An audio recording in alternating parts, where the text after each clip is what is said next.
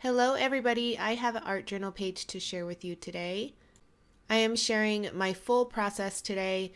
I started out the page having something in mind. It didn't work how I wanted it to, and I am going to show you guys how I ended up saving it. Although I'm not 100% in love with the page, I decided to share this process with you guys because I know a lot of people, when I do this, a lot of people say that they enjoy seeing how I fix something or why I change something. So, this is what that video is going to be. And uh, also, I haven't really had time to do a lot of videos lately, just a lot going on at the kids' school and just life in general. And now I'm sick. So, yeah, so just life has just really gotten in the way of making videos regularly like I had planned to, but hopefully uh, after the next couple days I will be back to making videos for you guys. So I uh, start off with a page from the Prima Mixed Media book. And I love the mixed media book. You can do so many different things with it. And I add a, I think I added a coat of gesso. And then I am now adding some Tim Holtz tissue paper. You can also use any type of tissue paper. You can make your own tissue paper, which is really easy. Although, uh, if you do make your own tissue paper, it is um, more delicate than if you buy, uh, you know, like the Tim Holtz tissue paper. So you just have to be a little bit more careful uh, but you can make your own designs. You can stamp on the tissue paper. I do that quite often and I love the result. So I'm using 3D matte gel to adhere the tissue paper to uh, the page and I do a coat on the bottom and then also a coat on the top. And I'm really not uh, too worried about where I place anything. With my original design in mind, I knew that a lot of it was going to get covered up although in the end, uh, I did cover it all up. But that's okay with me. It's all part of the process of creating, and I love just being able to do whatever I feel with art journal. Well, anything that I do actually, mixed media, scrapbook pages, anything, art journaling, I don't really feel there is any rules. Like I could just do what I want. And once I figured out that that's how I wanted to create. I wasn't worried about, you know, I can't use this on this or anything like that. Then it really um, freed the process of creating for me, and I just enjoy it a lot better. And what I mean by that is sometimes people could say, oh, well, art journaling is supposed to be this, or scrapbooking is supposed to be this. And a lot of us don't fall into those categories when we create, and that is definitely okay. And I feel once I stopped getting in my own head, then I definitely enjoyed the process a lot more. So, enough rambling. I added a coat of gesso and I did water it down just a bit because, again, I did want some of the print to show through uh, in the beginning. And then I'm taking a stencil and some light paste, and all of the uh, products that I use will be listed down below, so be sure to check that out. And I love this stencil, and I'm gonna have to actually get another one because I want one for my cards and also one for mixed media. And the one for mixed media, well, I use this one for mixed media right now, it just gets all too gooped up with stuff to use, like with my Tim Holtz blending tool and stuff like that. So uh, after that dried, I wanted to add some circles. And so I'm just doing that. And this is another one of my most used and loved stencils.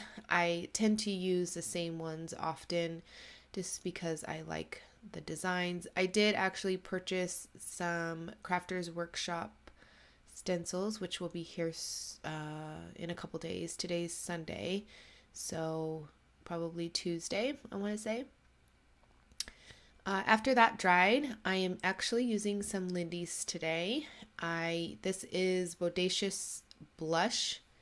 And this is where my idea just kind of took a turn.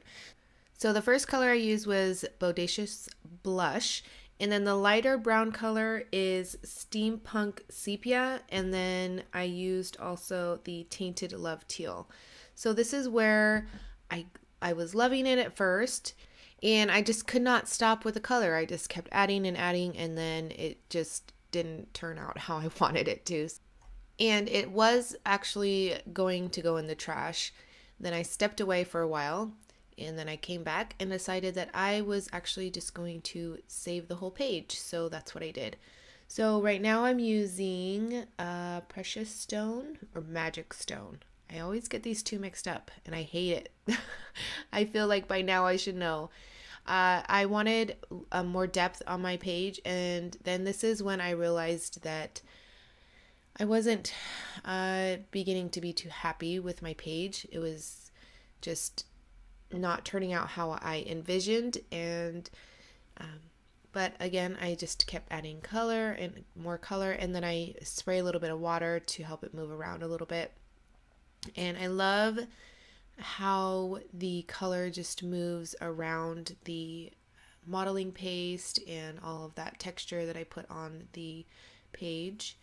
And you know here it just kind of kind of just muddled muddied up the color and I just wasn't loving it. So definitely going to change that and I think I will do that.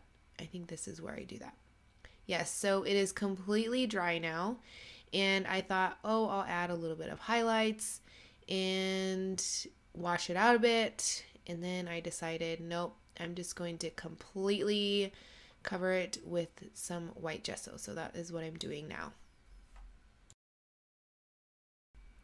It probably would have been way easier just to start over. But again, I wanted to show you guys the process from where I started and then it didn't turn out how I wanted it to. So now I am trying to save the whole page because I didn't have that much time to create. I think I had to pick up the kids in an hour ish at this point. Well, when I started actually. so I didn't have a lot of time. So I knew that if I started over, then I wouldn't have time to finish the page. So I realized that I needed to get some of that gesso off because it built up and I lost a lot of that texture. So I'm just using a baby wipe and wiping some of that off and it took off a lot of the color too, which was really good because then it lightened up the page and then I thought, okay, I can do this and I can save the page. So I am going to add more gesso and I continue to do this uh, until I feel like I can add more color and it will show through all of that other color down below. And at first I do kind of dry brush on some of that gesso first and then because I don't want it to build up again. That was my whole thing. I really wanted all of that texture that I added with the paste and the stencil to be able to show through once I started adding the color. So I started with the Tainted Love Teal and you saw that I didn't let the gesso dry at all. It dries pretty quick anyways, but I wasn't really too worried about it um, not being dry. I didn't really add a thick coat of it, so again, I wasn't worried too much. And then I add the uh, Magic Stone to add more depth, and I really wanted it to be darker on the left side and lighter on the right side um, in the end, it's all pretty dark. It's actually really dark page for me, uh, but that's okay. I just in, was enjoying the process at this point. And honestly, looking back at the video, I wish I would have stopped right here and not added any of the um, Nuvo embellishment mousse or anything like that. I wish I would have just stopped, but that's okay. Again, I'm just enjoying the process. And I let that dry. And this is where I add the Nuvo embellishment mousse. And I am working on a video to show the differences uh, and similarities with the Nuvo embellishment mousse and the Finnabair wax. I know a lot of people ask me which ones to get. They're two totally different products, uh, and I will share that in a video really, really soon. This color I'm using here is Cosmic Brown. I'm just taking my finger and rubbing over the top of all of that texture. It really highlights all of that texture on the page. and it is water soluble so you can use a paintbrush if you were wanting to add it as a color instead of just rubbing on top of the texture if that makes sense and I do have a video over on scrapbook.com which I will link in the upper right hand corner to the video I made for them uh, five ways to use a Nuvo embellishment mousse, which is really informative, I think. And this stuff, the Nuvo embellishment mousse is really awesome. So I finish up the page with, well, almost finish up the page with some paint splatters. And at this point, I just honestly just wanted to finish it up. I felt it was really dark and um, way darker than I anticipated. And then I thought when I was trying to figure out a title, I thought this was fitting, Doubt Your Fear, and I thought that was perfect for this page. These are from the Tim Holtz Tiny Chat or something like that. I don't know. I'll have the links down below to the products I used. I did want a little bit more texture on my page, so I am taking some Finnabair stamps and some StazOn ink and stamping randomly around the page.